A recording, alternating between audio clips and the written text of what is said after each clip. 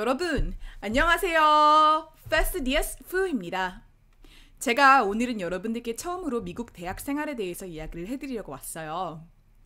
Fast DS 푸 시즌 1 1화. 그 첫 번째 주제는요. 준비되셨나요?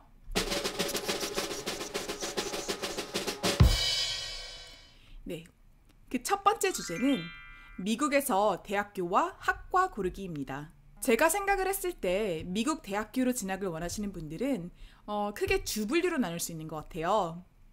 첫 번째는 한국에서 대학 생활을 좀 하시다가 교환학생이나 방문학생, 뭐 이런 류의 프로그램들을 통해서 미국 대학교로 한 학기 이상 오셔갖고 학점도 취득하시고 영어도 배우시면서 미국 문화를 경험하시러 오시는 분들. 그리고 두 번째로는 어, 미국 대학교로 직접 원서를 내셔서 미국 대학에 아마도 신입생으로 처음 진학하시는 분들이나 음, 아니면 미국 대학교로 편입을 하시는 분들 이렇게 두 분류인 것 같아요. 음, 교환학생분들은 물론 학과나 전공은 아마 벌써 선택을 하셨을 거예요. 그렇기 때문에 미국에 오시기 전에는 그냥 현재 다니시는 대학교랑 학생 교환 협정 어, 이런 게 체결된 미국 대학교들 중에 한 군데를 고르시면 될 것 같고요.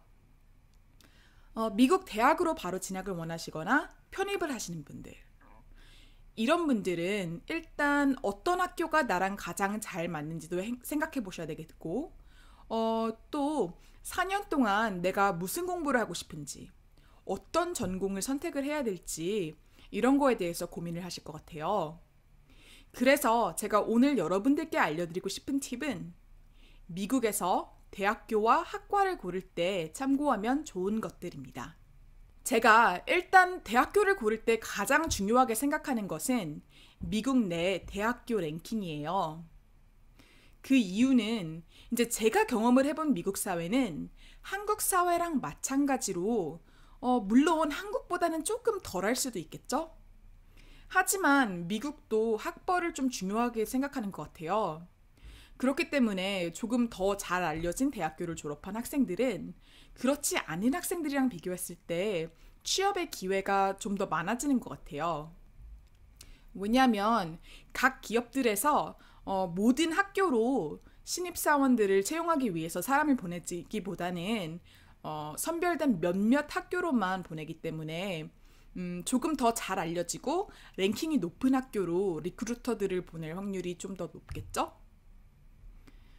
어, 그리고 취직 후에도 같은 회사, 같은 업종, 심지어는 이제 같은 직무를 가지고 있는 사람들 중에서도 더 높은 랭킹의 대학교를 나오신 분들은 어, 초봉이 좀 더 높은 경우를 제가 많이 봐왔어요.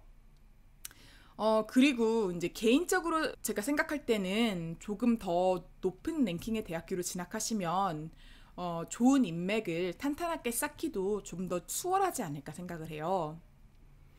음, 그렇기 때문에 저는 개인적으로 어, 대학교를 고를 때 그 대학의 랭킹에 대해서 알아보는 것이 가장 중요하다고 생각합니다. 미국 내 대학 랭킹을 알아보기 위해서는 www.usnews.com 이리로 가시면 매년 어, 새로 업데이트되는 미국 내 대학교별 랭킹이랑 그 학교에 대한 간단한 정보들을 보실 수가 있어요. 제가 지금 잠깐 보여드릴게요. 여러분, 여기 보시는 이 웹사이트가 usnews.com의 best colleges 사이트예요. 여기를 보시면 어, 올해는 미국 내 상위 311학교에 대학교 랭킹들이 쭉 나와 있거든요. 올해는 프린스턴이 하버드를 제치고 영예 1위를 차지했대요. 그리고 각 대학교마다 이런 식으로 정보가 나와 있는데요. 여기를 보시면 2018년의 학비, 그리고 또 그 외에 추가로 받는 기숙사 비용이 나와 있고요. 그리고 쭉 내려가시면 언제 이 학교가 설립되었는지 또 학교의 위치 이게 도시에 있는지 근데 프린스턴은 교외에 있다고 나오죠. 그리고 이게 하, 사립학교인지 공립학교인지도 나와 있고요. 여기를 보시면 졸업생들의 초봉이 얼마나 되는지도 나와 있고 또 아마도 여기 가입을 하시면 어, 각 학과별로 분류된 졸업생들의 초봉에 대한 정보도 볼 수 있는 것 같아요. 그리고 여기 보시면 2016년에는 어, 몇 퍼센트의 학생들이 프린스턴에 합격을 했는지 나와 있고요. 조금 더 내려가시면 한 강의실에서 수업을 듣는 학생 수 평균 그리고 학생 대 교수님의 비율이 나와 있어요. 그리고 여기에는 남여 비율도 나와 있고요. 음, 이거는 이 대학교 스포츠 팀이 얼마나 큰 팀인지 그리고 얼마나 지원을 받는지 이런 정보가 나와 있는 거고요. 디비전에 따라 달라요. 그리고 여기 밑에는 장학금. 몇 프로가 장학금을 받고 어 그리고 또 대부분 얼만큼씩 받는지 이런 정보들도 보실 수 있고요. 더 밑에는 이렇게 캠퍼스 범죄률이 나와 있어요. 그래서 여기를 보시면 캠퍼스 내에서 어떤 류의 범죄가 발생했고 이런 범죄들이 어, 몇 차례씩 발생했는지 이런 정보들도 나와요. 아 그리고 여기에는 어, 몇 프로 학생들이 캠퍼스 내에 자가용을 가지고 있는지 이런 정보도 나오니까 어, 캠퍼스 내에서 자가용이 필요한지 아니면 필요하지 않은지 이런 정보도 알 수가 있겠네요. 이 옆에 원하시는 학교 이름을 찾아보시면 저는 New York University를 찾아볼게요. 이렇게 각 학교별로 같은 형식의 정보가 나와요. 한 번에 중요한 정보들을 이제 한눈에 쉽게 보실 수가 있으니까 여기서 원하시는 학교의 정보를 꼭 먼저 찾아보세요. 그리고 어, 미국에서 대학교를 고르실 때 또 한 가지 고려해야 될 점은 학교 분위기예요. 왜냐하면 학교 분위기는 여러분들의 캠퍼스 생활에 정말 많은 영향을 미치기 때문인데요. 어, 우선 고려해야 될 것은 학교의 위치예요. 이 학교가 도시에 있는지 아니면 서버브라고 불리는 교외에 있는지 아니면 시골에 있는지 뭐 이런 위치에 따라서 문화생활이나 학교 주변의 교통편 그리고 치안 문제에도 차이가 있을 수가 있기 때문에 어, 학교가 어디에 있는지 그리고 나는 조금 더 번잡한 도시에 있는 학교가 좋은지 아니면 조용한 시골에 있는 학교가 좋은지 이런 것도 생각을 해보시면 좋을 것 같아요. 어, 그리고 또 한 가지는 사립학교를 가느냐, 공립학교를 가느냐예요. 물론 종교 재단에서 설립한 학교냐 아니냐 이런 것도 있지만 사립 공립을 따지실 때 큰 이유는 아마도 학비 문제 때문일 것 같아요.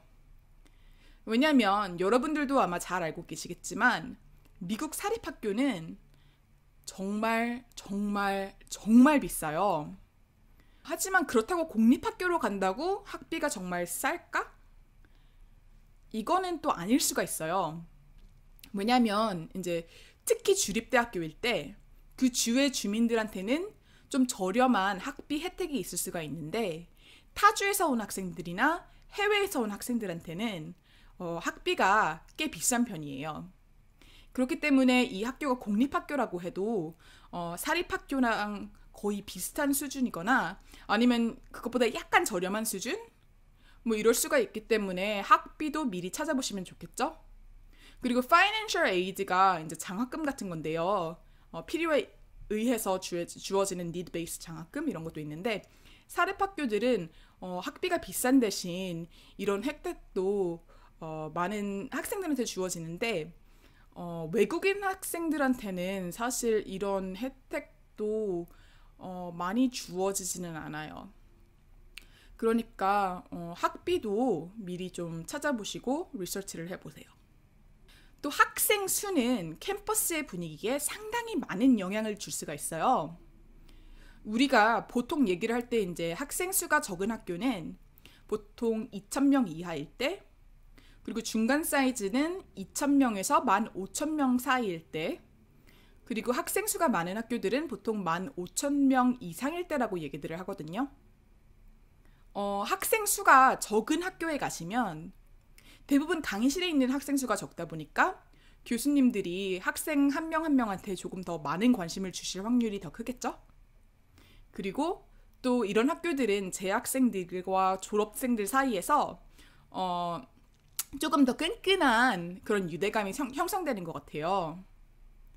그리고 반대로 큰 학교에서는 어, 작은 학교들에 비해서 조금 더 다양한 분야를 어, 선택할 수가 있고 그리고 또 스포츠팀이나 연구시설 같은 거에서도 더 후원을 많이 받고 또 신경을 더 쓰는 편인 것 같아요.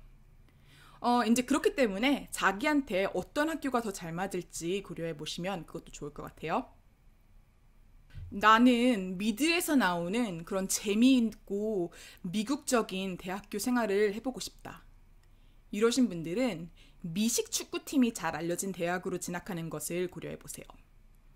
왜냐하면 어, 미국에서는 대학생들뿐만이 아니라 그 지역 사람들까지 대학교 스포츠, 특히 칼리지 풋볼에 완전히 열광을 해요.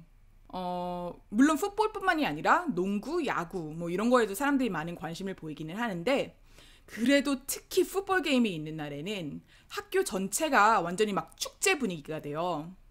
풋볼 게임이 시작하기 전에 tailgating이라고 해서 어, 사람들이 막 캠핑카도 끌고 오고 술도 마시고 바베큐도 먹고 게임 같은 것도 해요. 그러면서 이제 막 풋볼 게임을 준비하거든요. 어, 그리고 막 학생들은 얼굴에다 막 페인트 칠도 하고 가발도 막 쓰고 응원가도 막, 막 이러면서 막 재밌게 부르면서 응원도 하고 그래요. 그러니까 이런 재밌고 독특한 경험을 하시고 싶은 분들은 꼭 어, 칼리지 풋볼에 대해서 조사를 해보시고 그런 쪽에서 유명한 학교로 어, 가는 것을 생각해 보시면 좋을 것 같아요. 그리고 나는 이왕이면 미국에 간 김에 주말이나 방학들을 잘 활용해서 여기저기 여행을 다니고 싶다. 이러신 분들은 꼭 캠퍼스 주변에 어, 공항이 있는지, 그리고 만약에 공항이 있다면 얼마나 멀리 있고, 몇 개나 있고, 국내선만 운행하는 공항인지, 아니면 국제선도 같이 운행하는 공항인지, 이런 것들 먼저 잘 알아보시고 오면 좋을 것 같아요. 그리고 제가 알기로는 이제 어떤 대학교들은 캠퍼스 주변에 있는 기차역이나 공항 아니면은 심지어 지하철역까지 무료나 아니면 저렴한 가격에 셔틀 서비스를 제공하는 곳들도 있더라고요. 어, 그러니까 이런 것도 나중에 알아보시면 좋겠죠? 아, 그리고 이제 같은 지역에 공항이 여러 곳이 있더라도 심지어 이제 같은 시리에서 같은 목적지로 가는 항공이라도 공항에 따라서 항공권의 가격 차이가 있을 수가 있어요. 그러니까 여행을 가시기 전에 어떤 공항에서 출발하거나 도착하면 어, 조금 더 저렴한 가격에 여행을 할 수 있는지 알아보시면 더 좋을 것 같아요. 그리고 어떤 학교들은 이제 대중교통이 정말 좋은 곳에 있을 수가 있는데 또 시골이나 이런 쪽에 있는 학교들은 학교 밖으로 나가려면 자동차가 꼭 필요한 곳들도 있어요. 그러니까 이런 것도 잊지 마세요. 아, 저는 그리고 해외에서 오시는 분들, 특히 한국에서 오시는 분들한테 대학교의 안전성에 대해서 어, 미리 좀 조사를 하고 오시라고 많이 강조를 해요. 왜냐하면 미국은 개인이 총기를 소지할 수 있는 나라이기 때문에 음, 학생들이 노출될 수 있는 범죄의 정도가 한국이랑은 정말 많이 다를 수가 있어요. 어, 다행히도 요즘은 많은 학교들이 캠퍼스 범죄 자료를 온라인상에 공개를 하더라고요. 그러니까 어, 학교마다 어떤 류의 범죄가 자주 일어나는지 이런 것들 먼저 살펴보시고 오면 어, 대학을 선택하실 때 도움이 되겠죠. 아 그리고 마지막으로 음, 미국의 학기 제도는 여러 가지가 있어요. 이제 1년을 두 학기로 나누는 semester, 세 학기로 나누는 trimester, 그리고 네 학기로 나누는 quarter제가 있는데요. 어, 가장 보편적으로는 semester랑 quarter가 많이 쓰이는 것 같아요. 어, 그리고 미국은 첫 학기가 한국과는 다르게 가을에 시작을 해요. 그래서 semester는 이제 보통 학기당 15주 정도의 길이거든요. 첫 학기는 가을 학기고 어, 그 가을 학기는 보통 8, 9월쯤 시작을 해서 12월에 끝나요. 그런 다음에 그 다음 학기인 봄 학기는 1월에 시작을 해서 5월이나 6월 사이에 끝나고요. 어, 여름에도 여름 학기를 어, 들으실 수가 있는데 이거는 그냥 선택적으로 계절 학기처럼 들으실 수 있어요. 또 쿼러제는 어, 우리가 한국에서 잘 아는 UCLA 뭐 이런 학교들에서 많이 쓰이는데요. 어, 한 학기당 길이는 한 10주 안팎이에요. 가을 학기는 어, 9월에 시작해서 12월쯤 끝나고 겨울 학기는 1월에 시작해서 3월에 끝나고 또 봄 학기는 3월에 시작해서 6월에 끝나고 여름 학기는 마찬가지로 선택적인 학기인데 이거는 6월에 시작을 해서 한 8월 아니면 9월쯤에 끝나는 것 같아요. 또 하나는 어, trimester. 이건데 이거는 12주에서 13주 정도의 길이라고 알고 있어요. 그리고 가을, 겨울, 봄 학기가 있다고 하네요. 아, 참 그리고 여러분, 만약 여건이 되신다면 대학교를 선택하기 전에 먼저 미국에 오셔서 캠퍼스 투어를 해보세요. 어, 요즘은 많은 대학교들에서 하루에 수차례씩 무료로 캠퍼스 투어를 진행하거든요. 근데 어, 보통은 재학생들이 어, 캠퍼스 투어 가이드로 일을 하기 때문에 직접 학생들한테 질문도 할 수 있는 정말 좋은 기회가 될 것 같아요. 어, 또 이제 미국에서 학과나 전공을 선택하시기 전에 꼭 생각하셔야 될 것 중 하나가 커리큘럼이에요. 내가 흥미있어하는 학과에서는 무엇을 가르치는지 그리고 강의들이 좀 재밌어 보이는지 아시면 당연히 좋겠죠. 어, 보통 대학교들에는 각 학과마다 따로 웹사이트가 있어요. 그리고 이 웹사이트에 가시면 각 전공별로 어떤 강의들을 들어야 하는지 프로그램이나 커리큘럼이 나와 있거든요. 그러니까 이런 것들을 먼저 잘 살펴보시면 정말 좋을 것 같아요. 제가 이제 예를 들어서 조지아텍의 원자력 공학 프로그램을 보여드릴게요. 어, 이게 제가 개인적으로 상당히 깔끔하게 정리가 되어 있다고 생각하는 커리큘럼이에요.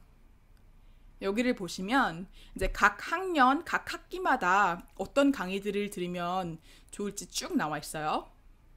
그리고 어떤 강의들을 필수로 이수를 해야 되는지, 그리고 또 그런 강의들을 듣기 위한 전제 조건들이 여기 다 나와 있어요. 그래서 예를 들자면 Physics 2211 물리 1이죠. 이 강의를 듣기 전에 Math 1551 이게 Differential Calculus라는 강의인데요. 이걸 먼저 들으셔야 되고 또 그 옆에 보시면 Math 1552의 별표가 쳐져 있죠. 이거는 Integral Calculus인데 이거는 어, 미리 들으셨거나 아니면은 물리랑 같이 동시에 들으셔야지 이 강의를 들을 수 있는 자격이 주어져요. 그리고 밑에 보시면 졸업하기 위해서는 총 몇 학점이 필요하다고 이렇게 나와 있거든요. 아, 그리고 어, 마지막으로 꼼꼼히 따져보시면 좋은 것이 학과별 취업률과 초봉이에요. 만약에 이제 우리가 관심 있는 학과의 취업률과 초봉을 예상할 수가 있다면 대학교를 선택하고 전공을 선택하는데 당연히 많은 도움이 되겠죠? 요즘에는 이제 많은 대학들이 이런 정보를 고맙게도 온라인상에 올려놓더라고요. 아까 usnews.com에서도 이런 정보가 나와 있는 걸 보셨죠? 그러니까 이제 제가 대학교에서는 이런 정보들을 어떤 식으로 제공을 하는지 저희 모교에서 모은 자료들을 여러분들께 보여드릴게요. 여기 보시면 각 학기별로 2006년 가을 학기부터 2017년 봄 학기까지 정보들을 모아놨어요. 학사 과정, 석사 과정, 박사 과정 이렇게 따로 정보들을 찾아보실 수도 있고요. 2017년 봄 학기에 이거는 학사 과정으로 졸업한 친구들의 정보예요. 보시다시피 이렇게 전공별로 졸업 전의 취업률 그리고 초봉에 대한 정보가 나와 있어요. 초봉도 이제 중간 값, 가장 높은 값, 가장 낮은 값 이렇게 쭉 정리되어 있고요. 어, 심지어 사이닝 보너스도 얼마나 받았는지 이런 것도 나와 있어요. 그리고 조금 더 밑에 가시면 학부별로 같은 정보들을 정리를 해서 어, 한눈에 쉽게 보실 수도 있어요. 자, 그럼 이것으로 오늘의 비디오는 마칠게요. 유용한 정보 좀 얻으셨나요? 어, 만약에 질문이 있으시면 아래에 댓글로 남겨주세요. 소통은 소중하니까요. 어, 제가 이제 댓글로 답변을 드리거나 아니면은 나중에 비디오로 궁금증을 해결해 드릴 수 있도록 노력하겠습니다. 그리고 다음 시간에는 어, 미국 기숙사 생활에 대한 비디오로 찾아뵐 거예요. 아직 구독하지 않으셨다면 밑에 구독 버튼 누르는 거 잊지 말아주세요. 다음 시간에 봐요. 안녕!